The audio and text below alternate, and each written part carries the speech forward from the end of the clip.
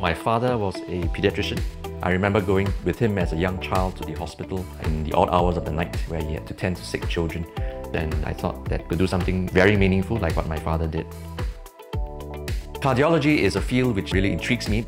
Without the heart, every other organ would fail.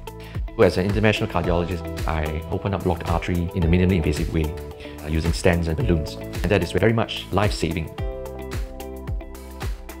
We see the heart arteries as water pipes. So when these water pipes get choked with uh, cholesterol, with junk, that's when you need to call your plumber.